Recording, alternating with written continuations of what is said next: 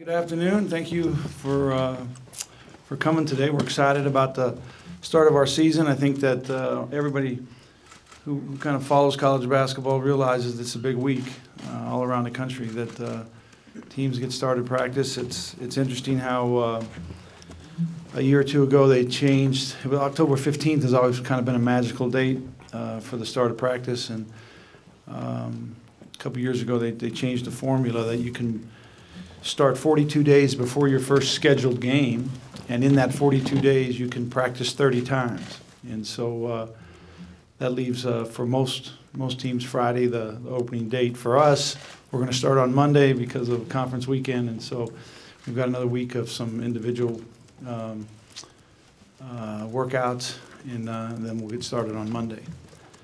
Um, we're I am. I'm just. I'm just really excited about this team. I think some years uh, a little more apprehensive. This year, with the chance of us being able to travel and kind of coach our team a little bit in August, that uh, I think we have a, a good feel for uh, the group and, and what we need to do and how we can do it. I uh, I'm really excited about uh, um, you know, just the, the depth of this team, and, and hopefully it that's how it it plays out. I love competition. I think competition is the key to success, and if our team can compete against each other, I think that, uh, um, you know, we'll find a real solid group that, uh, um, you know, can compete for championships. I, I think that uh, this, it, it kind of reminds me a little bit of a year, four or five years ago when we were trying to replace Jimmer, uh, as far as scoring is concerned. I mean, Tyler was such a consistent score for us. I think that the way we'll do this is kind of similar to that year where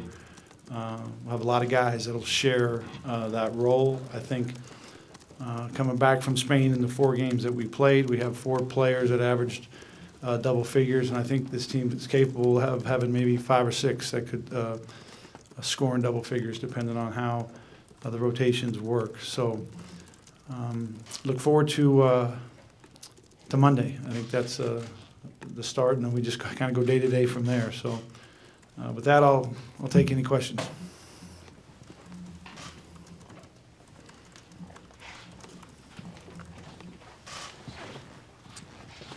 Dave, could you give us a little more detail on what happened in Spain and what things that you liked that you saw specifically?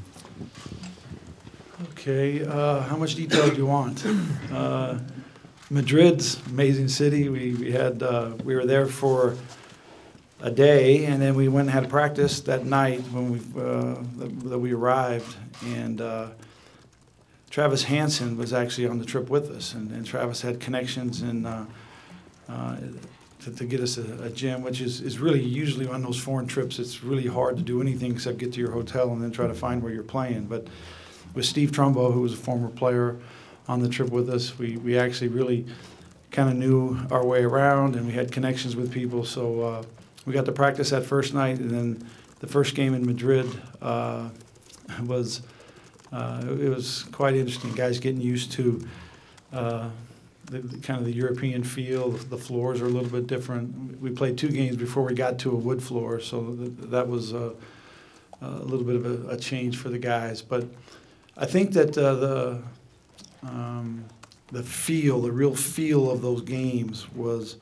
they were close early, and you know the European game is is really kind of more of a half court kind of game, and we, we really try to push the tempo, and we turn the ball over a lot in, in traveling, trying to push the tempo, and, and had a hard time figuring out to get the ball down before we, we put our you know uh, took our next step and.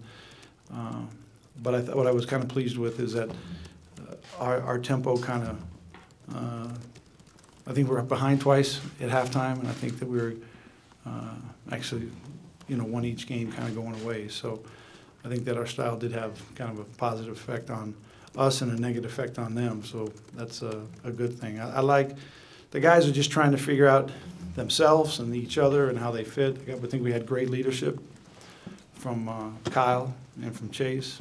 And so uh, Madrid was good. It, it, was it was pretty challenging. And then uh, and then we the the next day we traveled. We took a, we, we took the day and we drove about three hours, and stopped and had a pregame meal and then drove another hour and then played a game. I haven't done that since junior college. That's been a while. And uh, we played a five o'clock game and it was about 95 degrees outside and hotter than that inside. That's for sure. But uh, and they they gave us a great they gave us a good game and then we got them late. You know, we were able to kind of put the game away. So then we had a couple days off. Then we played back-to-back games in Barcelona. Coach, could you address the health of your team, particularly you know, Nate and Jamal and Nick, how they're doing? You know, that, that was really uh, interesting for us in the 10 days that we practiced.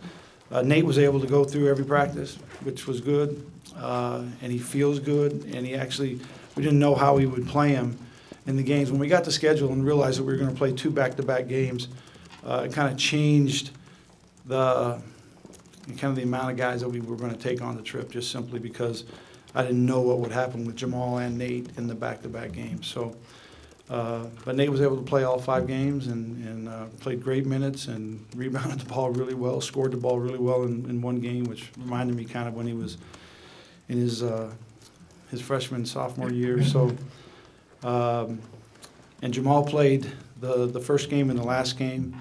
Uh, he was really effective in the first game. The last game, not quite so much. Uh, never really got in a rhythm, got into some foul trouble. But it was good to see Jamal in the practices and uh, really look forward to, to getting him some consistent uh, time on the floor with this group to see how he can really fit in. At, at which spots do you feel most locked in with right now, and where do you expect the most competition here in September, October? Well, I think when you take, you know, guys who have started for you, that, uh, you, you, their experience, so the experienced guys, um, you're talking about Kyle and Chase and Nate, and then uh, Corbin Kaufusi. And Corbin started, I think, the last 15 or 16 games for us last year, and Corbin had a great, uh, you know, a great four games over there for us, led us in rebounding. And, uh, his issue, he- he's a really aggressive player, and he'll have to, to play major minutes, figure out how to stay out of foul trouble because he is so aggressive, but that's, that- that's a good way to start. Uh, So I think that those, those four experienced players, but after that, it's, it's a lot of really talented guys that are inexperienced, and so that's where the competition will be. Coach, you referenced the 2011-2012 team as a team that's kind of, I guess, similar to what this squad's going to be experiencing. Who do you expect to step up in that scoring absence this year? Well, I expect them all to step up. We'll see. Uh, that, that, that's the beauty of Monday is that you get a chance to get on that path to start. I think that uh, you know if you if you take from our the practices that we've had and the time in Spain, um, you, you'd obviously look to the guys who kind of produced there. Uh, Nick Emery a, was a really good scorer for us. Kyle Davis scored the ball really well for us. Chase was our leading scorer. Uh, and then I think that. Uh, you know, it was, uh, it was Kyle and Chase and two Kyles and, and Nick that averaged in double figures. And then Jordan Chapman, you know, had, uh, nice scoring days there. So it, it'll be, it'll be really interesting to me to see, uh, who kind of rises, rises up. I thought that, uh, you know, s- you know, some of the, the younger guys, Zac Seljaas, you know, coming, coming right out of high school, it was interesting to watch that adjustment and hopefully, uh, with that experience, it'll help him uh, in the next three or four or five weeks before we get started, uh, because he has a baseline now to kind of compare things to and can, can go from there. And then, you know, Cory Calvert got, a- he twisted his ankle in the first game over there, and he's really, really had a hard time recovering from, from it. And he hasn't really been able to go in a full workout since then. And so hopefully, uh, he's close to getting back with us and can start with us on Monday. Coach, have you ever had a roster like this one where you have nine players, new faces that didn't play play last season? Um, how unique of a challenge is that for you? Well, I, I think that uh, one thing that we've been able to do in the 10 seasons is to be able to return a core group that can help the, the younger inexperienced guys understand not only our system, but how we practice, what we do, kind of our culture, and then the expectations that we have from our, ourselves. And uh, I, I think with Nate and, uh, and Corb and Chase and, and, uh, and Kyle, that, uh, that there's, there's pretty good communication to this group about what our expectations are and, and uh, what our culture is, and so I feel really comfortable with that. Having a player like Cooper with his background and, and upbringing, what, what kind of production are you guys expecting out of Cooper this season? Well, I think that Coopson, we, and we've talked about this a lot with this certain group of guys, that there's a, um, you know, there's a, a, a lot of uh, uncertainty as far as the rotation's concerned. And, uh, you know, Cooper is a guy who I think his natural position is to play the point guard position, but he's a, a pretty good scorer, but he, he's a really tough player. And he understands uh, team plays, and he understands uh, consistency. He's battled through quite a few kind of injuries from uh, a returned missionary's uh, point of view, but he's there every day and he's uh, he's involved, and so he he's he's a tough kid, and we look forward to seeing what he can do for us. Dave, we've talked a lot about scoring, but one of the knocks has been at times the defensive performance of your guys. Where where do you view them being at defensively heading into this season? I I was I was really pleased with uh, our improvement defensively. I I think that personnel, uh, just personnel adjustments will will help us defensively. I mean, last year when we, last couple years, we just had a hard time with the depth of our front line, and so we're playing smaller guys, and and it's it's hard to guard us, but it's hard to guard other guys, you know, and so. Uh, uh, You re- replace, virtually replace Nate, 6'11", his defensive presence and his rebounding presence, and we replaced him with 5'10", Skyler Halford, and 6'2", Anson Winder. And it helped us offensively, but it did cause some issues defensively and rebound. And that's why Kyle was such a huge part of our team last year, rebounding the ball. We had to have him have big, big games rebounding the ball. So uh, I believe with the, uh, with the size, the strength, and the depth of our front line, if we can get to that, I, I thought last year we would get to that. I thought we have Jamal and Nate on the team last year, and neither one of them played. So we're hoping we get them both this year, along with Kyle Davis and Corb and Jakob Hartsock and Braiden Shaw. And if that group is good, as good as I think it'll be, our depth on that front line will be way better, and it'll show, uh, it'll show on the defensive end. Dave, you brought in a, a new assistant coach in Quincy Lewis. How has he fit in, and, and how has that made adjustments in your coaching staff as far as responsibilities? I, I'm really pleased with Quincy. I think that he is a, um, you know, he's a really, he's a very good coach, really smart guy. But what I love most about Quincy is he's, he's loves competition.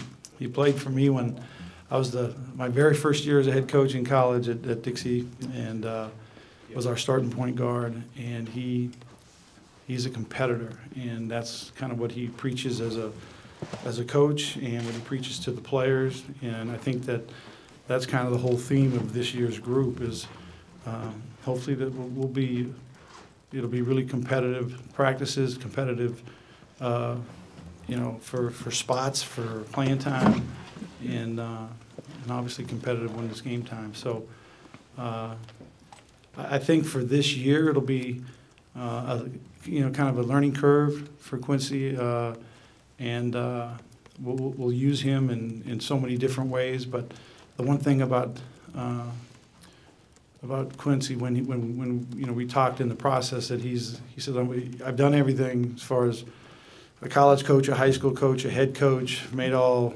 the adjustments in games, I've done everything, and it says whatever you need me to do, that's what we'll do. And uh, so I think that the, the practices in August and the, and the trip to Spain really helped us kind of uh, determine that and, and just look forward to uh, kind of getting them in the mix and get going. Will, will Terry still handle the Yeah. offense? Mhm.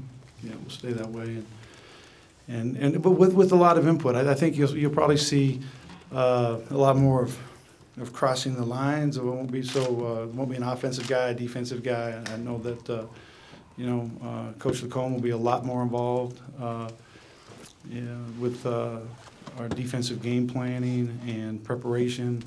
And, uh, but Quincy and, and, and Coach LaComb, they'll, they'll, handle um, our defensive game prep. And, and Terry will help with the offense. Past few years, Coach, you- you've signed some nationally heralded recruiting classes, and now you're starting to see those players trickle into the program. Do you feel that this is the beginning of a special era or phase of, of this program? I've, I've been taught some patience here, I think. I'm waiting for these guys to come and excited to get them here. I'm really excited to get, you know, Nick, uh, Emery was one of the, you know, the first top 100 guys we've we signed after Kyle and uh, uh, Tyler. So uh, we look forward to to Nick this year, and then TJ, and then you know Payton Dastrup and Eric Mika coming back. So uh, that's that's still down the road. I'm I'm I'm excited about that, but I'm I'm really looking forward to see what what this group can do, and then then you know when Chase and, and, and Kyle and Nate leave, you know what will be here when they come back, and uh, that's kind of been, you know, I, I it was really important to me that when I got this job 10 years ago, that we didn't just have good teams, but we had a great program, and we could be consistent year after year and not just kind of plan for a big year, that we could be consistent. We're, we're looking, still looking for that real big year, and, and hopefully that uh, we've got it here in the future, yeah, near future. Dave, what led to your decision to bring Alan Hamson into the program, and what are your expectations for Well, role? Alan, he, uh, once he was accepted to school, into, into school, his parents came and asked me if uh, there'd be an opportunity for him to, uh, um, you know, just to, to, to work out with the guys and see. And, and his mission timetable was so difficult, he didn't get back till like August 28th or so. Uh, And so he still hasn't been cleared to actually work out. We're still in the initial processes of, of getting him uh, through, you know, kind of his, his mission conditioning uh, process. And, uh, you know, he's seven three, and he's got a seven six wingspan. And, uh, you know, I remember in high school as a pretty, pretty good player that, that had a pretty good feel. Uh, And he's had some, you know, corrective surgery and, and got himself in a, a much better, his body in a much better uh, position to be able to compete. And we'll see how that works over the course of, uh, you know, a week practice and then two-week practice and then see how we go from there. Coach, So there, those guys are hard to find. That's what led to the decision. Coach Corbin Kaufusi seemed like he had a. He, started out the year a little bit raw, but he's progressed exponentially throughout last season. What have you seen from him in the offseason going into the season that gives you hope that he can continue that climb? Well, I, I think the, the most impressive thing with Corbin is how hard he works. He's an everyday guy, and, and he really wants to improve his game to help our team. And that's a great quality to have. A lot of guys have all kinds of agendas of why they want to get better. Corb's agenda is pretty simple. He wants, he, he loves to win, he's a competitor, and uh, he, he's, he's an everyday guy. I, I love the, the time that he spends with our coaches, and, and then the time he comes in and watches film, and, and uh, I, I think that, um, you know, we're trying to get, get Corb from, from being kind of a highlight guy. He, he, he's capable of, because he's so athletic and he's got such great size that he can, uh, he can affect the game on both ends of the floor. But uh, the consistent play from end to end, day after day, night after night is, you know, where hopefully we'll see the real improvement in court. Yeah. Year five uh, in the West Coast Conference, do you feel like you have a better feel now of, of this league and the, the venues and personnel? Well, what I do know is that it's a really competitive league, and that we won four out of five uh, championships um, in the Mountain West Conference, and we're 0 for 4 in this league. And uh, so the, the, the challenge is uh, obviously uh, really good, and we're looking forward to, uh, you know, trying to, uh, to break through here and win a regular season title and win a conference title, conference tournament title, and and then make a, a deep run in the NCAA tournament. Hopefully that happens soon.